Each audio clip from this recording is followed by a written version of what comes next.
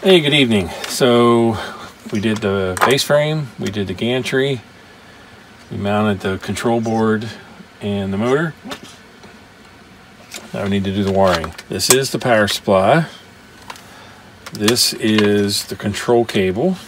This is the offline controller. And we have three stepper motor cables. So let's get the stepper motor cables on. Now these are a standard length and as you can see here, you don't have that far, you don't have this far.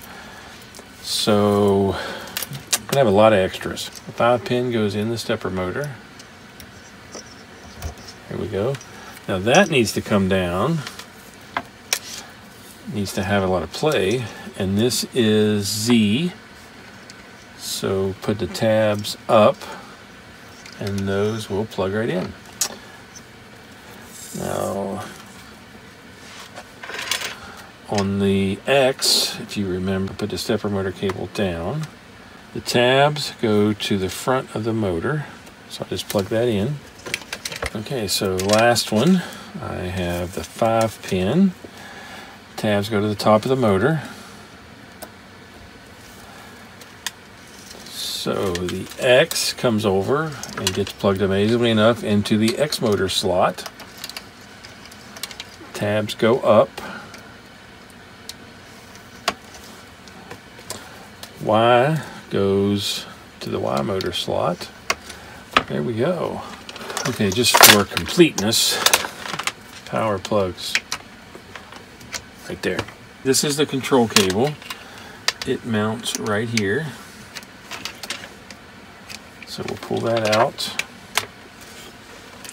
Now, this cable and this cable, I've got to do differently.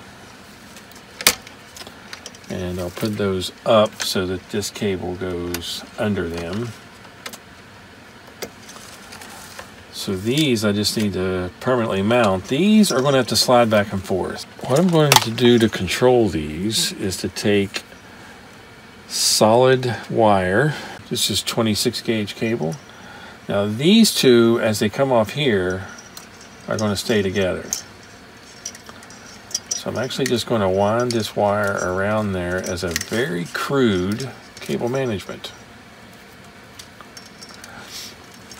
I will eventually get some loom and put on there, but I don't have any right now. Uh, that has to be able to go all the way over there, which I'm sure has more than enough cable. Uh, now these two stepper motors. Um, I'm going to do the same thing. That looks a little better. Doesn't look like wires everywhere. Okay, so while we're here, we have this offline control board. Notice that it's keyed on one side. And that socket is keyed and it just fits right in that socket. Okay, so on this, that is end stops and other things. So they give the provision for end stops. That's actually good. Now this has to be here because it has to move back and forth. This on the other hand is kind of static. There we go. That looks a lot better. Okay, so I've got power on. It was already turned on. And I've got this little handheld thing. The Y is the up down, the X is back and forth until you actually get to where you want to exercise it. So let's do OK for control.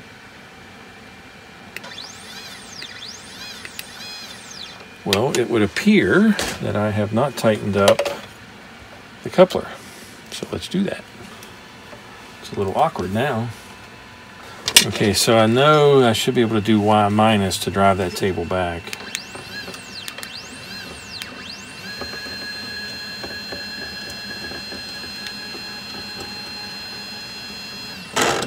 Well, that was bad. That's why you need end stops. There's some noise coming out under here. That noise is this anti-backlash nut. Hear it rattle?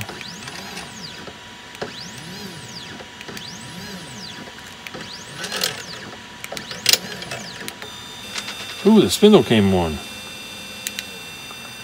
Apparently if you hit that OK, the spindle comes on.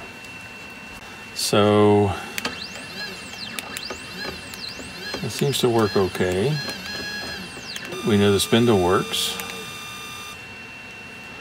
And what about the X?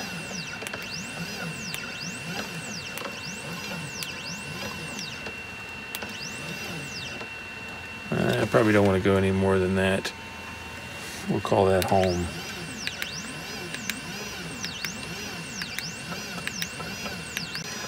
Okay, what about Z? Does Z work?